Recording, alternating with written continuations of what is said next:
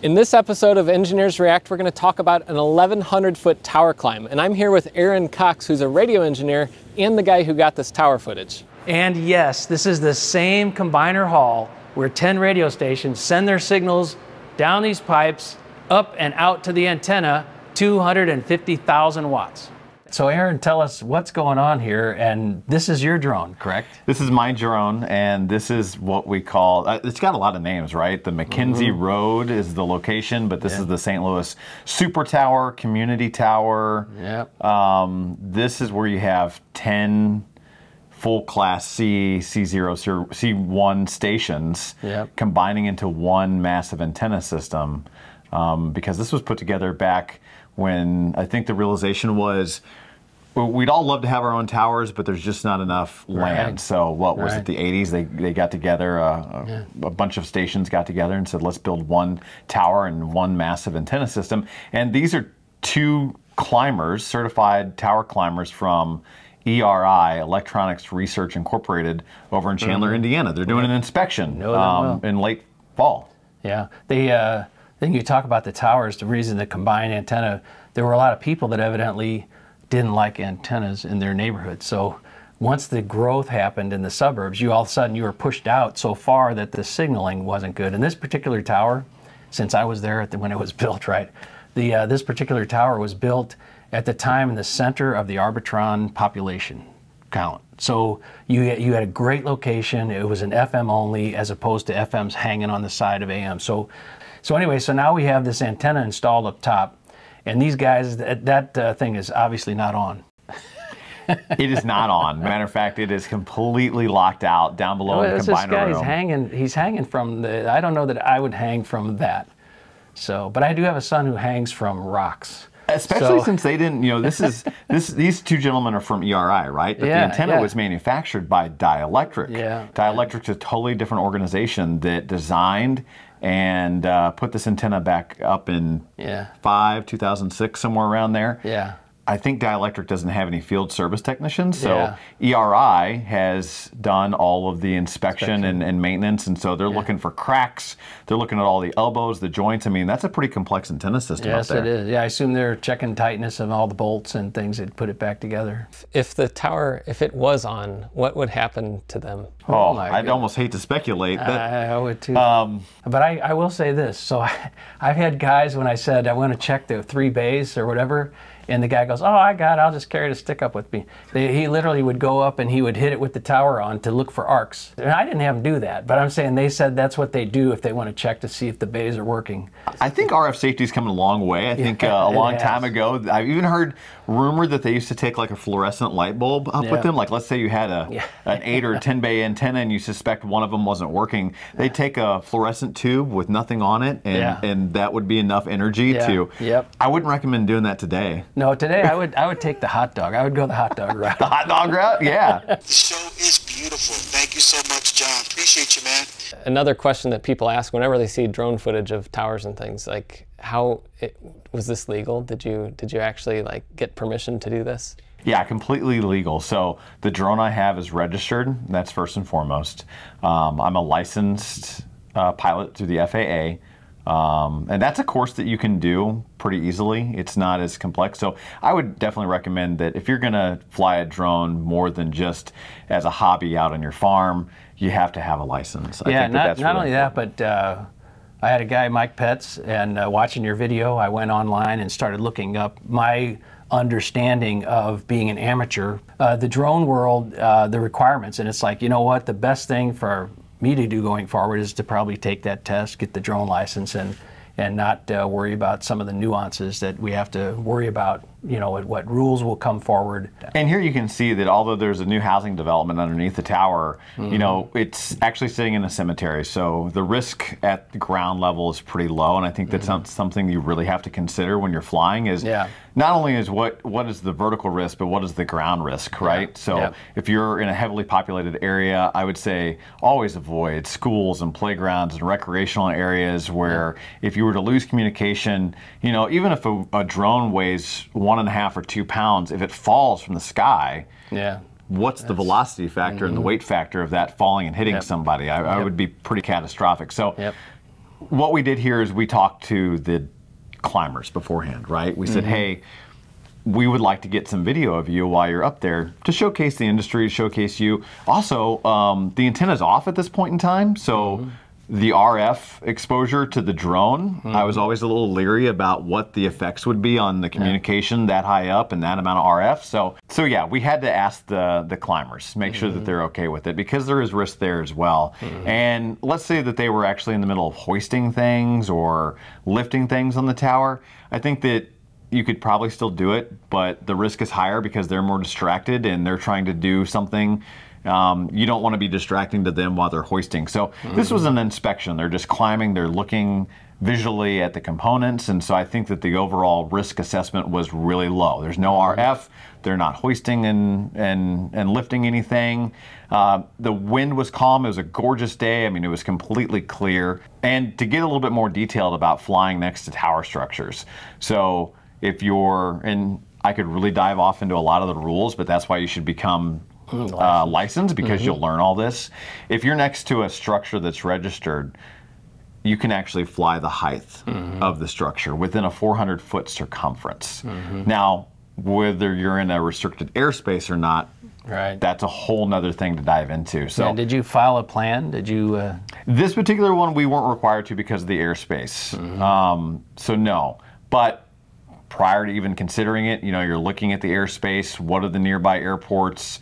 Um, because yeah, we potentially, if, if we were in closer proximity to like downtown airport, Right. we probably would have had to file a flight plan and Yeah. and probably would have been restricted by height. So and you stayed within the property, so the drone falling would have been contained to that property, which only you and the climbers were there, right? Probably. And they got to see this after the fact, and they were really thankful for it because it showcases just the complexity of what they're doing. I mean, a lot of times they can take a photo from, you know, looking down or looking up or a selfie, but Yep. look at you know, a good wide shot of the antenna system. They look so small. Yeah. Yeah, they do. And I think a lot of these guys, they work long hours, they travel mm-hmm. away from their family. Yep.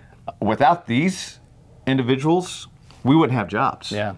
And if I did that, what would mom say if she saw this video?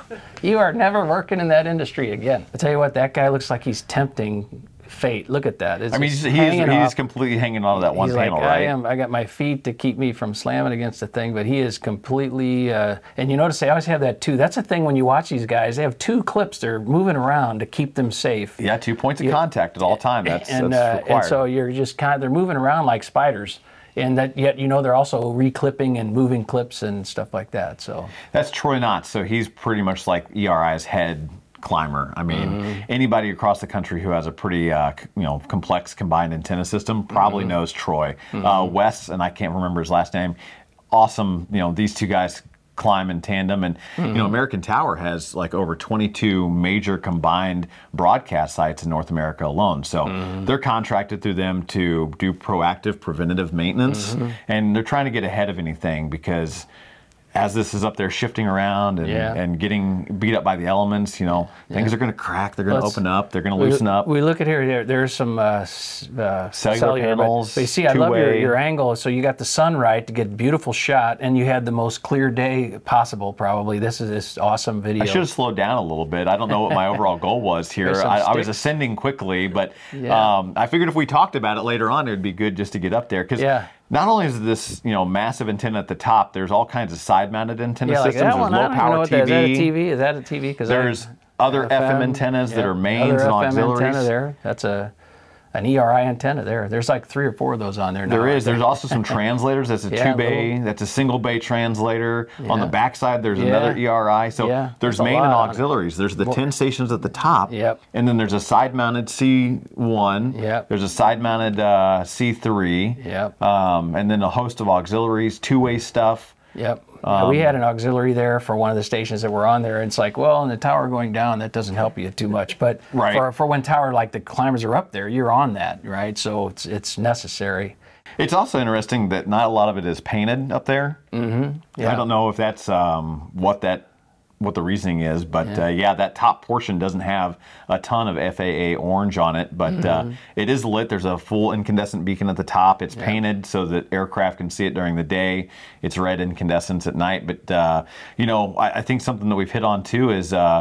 That towers are expensive to paint, right? So a lot of Mm-hmm. Companies are opting to put in a new LED system that's white during the day, Yep. white at night, Yeah, re-register the tower, and you know don't spend one hundred and fifty thousand dollars. And I think that's it. a plan for this one too. They're it gonna is. they're gonna flip a tower pro, uh, lighting project on there. And uh, while you were doing this uh, drone footage, and even during the whole procedure, uh, like, do you keep in communication with them while this is going on? Like, do they have radios? Because I can imagine if they dropped a clip or a bolt or you know a phone or something. Well, two things. Um, I've got a controller, so I'm watching the video screen, but I have to make sure I'm maintaining a clear line of sight for you know the what is it like 2.4 gig or 5 gig Yeah. Uh, transmit receive. I do have a walkie-talkie that they provided me. I was letting them know I was coming up because I didn't want them to just be Yeah. caught off guard by this whizzing, you know, because they're kind of loud. you know, they they, they make a lot of noise. Yeah. And uh, so I let them know I was coming up, but I was also sitting in my truck, a little bit of protection. And uh, it actually allowed me to recline a little bit and Mm-hmm. just kind of visually imagine myself like flying up this 1150. It's 1115 feet to the top, so it's Yeah. it's up there. And so you kind of got to remember where you're at geographically in relationship to the tower and where all the guy wires come in. Mm-hmm. Yep. I don't know if I told you this or not. My first drone was a GoPro brand, Mm-hmm. and it didn't have a lot of censoring on it. I don't even know if it had GPS to keep it in place, but Yeah. uh, a gust of wind just like hit me right into a tower. Like the first time I ever tried to fly it, like 100 feet off the air, and I had to like try to catch it. Yeah, yeah. Um, so I learned a lot. You learn a lot, you know. I I, was started as a hobby, there- and I saw a video when I first got my drone after I'd been flying it, had a few experiences, and it was like 10 things not to do. And I had already nailed about eight of those. So, and this is a massive antenna. I mean, it's eight bays, it's uh, three sided, and I understand it weighs what close to 30,000 uh, pounds. yeah, yeah. Were you, were you there, Jeff, when they actually unloaded that? Yes, yeah, I have a picture of you and I standing there. Yeah. So it's it's uh, it's pretty. It was amazing when you see it on the ground, like you said. People, you get a perspective of that. That's just different. And then they're lifting it, and of course, as an engineer, you're like, this could take the whole tower down, right? You're, you're lifting this massively heavy antenna all the way up the side, the pick at the top. The thing, you know, when you've heard of tower issues before, where people, you know, they lost it during a heavy lift. Uh, so we were all watching that. Uh, every engineer that had a stake at that tower. And by the way, it got a clear bill of health. This antenna looks great. There's very little that's changed since the last inspection. But of course, companies like American Tower are looking yeah. at its overall. So see, I was going to say, yeah, new subdivision, you know, It is. new houses there. So uh, one of the interesting things about FM is it's up so high that some of those people could have more trouble receiving the station because the sta- the signal goes right over the top. So there's a little bit of correction in the antennas to get the signal to go down so you don't lose when you're right in the middle of population. They uh, tweak the antennas to try to get radiation down, but well, you see the transmitter buildings directly below it too. And so, I mean, even receiving your own signal down there, you would. Yeah, think next yeah. to a 30, 40 kilowatt transmitter, you wouldn't have any trouble receiving inside the building. But I mean, a lot of the stations have external antennas outside the building just to receive what's going on up Yeah, top because it's. right. Yep. And I see a boat building. They're building some boat up there. No, that's actually part of the cemetery. It's the Which, by the way, if you want to build a tower, cemeteries are awesome. There is no complaints from neighbors for you know you're sitting out there. You've seen that. I think the climbers, I, I just realized like they climbed the tower and then they did the work. Like if I climbed that tower, I would just go back down. I'd be done. Well, that was fun. I mean, think about the tremendous amount of just you know physical fitness that you have to be in to uh, ascend a 1115 foot tower. I mean, that's I would I wouldn't make it, Yeah. But I don't do it every day, and I- these, and, these and I guys tell do. you what, it's going straight up. Like every step you take is your full body weight. You don't do that anywhere else. You know that I know of. Straight Plus, up. it's got to be like at least 50 plus pounds of Yeah, oh know, yeah, the belt, gear. Yeah, they're carrying the tools, belt, camera, Yeah, they carry all that up with walkie-talkie. Yep. helmet. I mean, Yep. you got to be in good physical shape. Yeah, yeah. Definitely a young guy's game. Not this young guy. Yeah. I'm too afraid of heights. Well, my wife won't let me, so I'm out too. Although I've always wanted to go up into an elevator Yeah. on a tower. I, Yeah. I really hope the Fox 2 guys will let me go up one day. yeah, theirs are working? Is theirs Both still, them? yeah. Because you know the the thing at Channel Five and some others, as soon as they get an expensive repair, the insurance costs have gone crazy and Yeah. the repair costs are crazy, and they just shut them down. And they, you know, so that's been disappointing.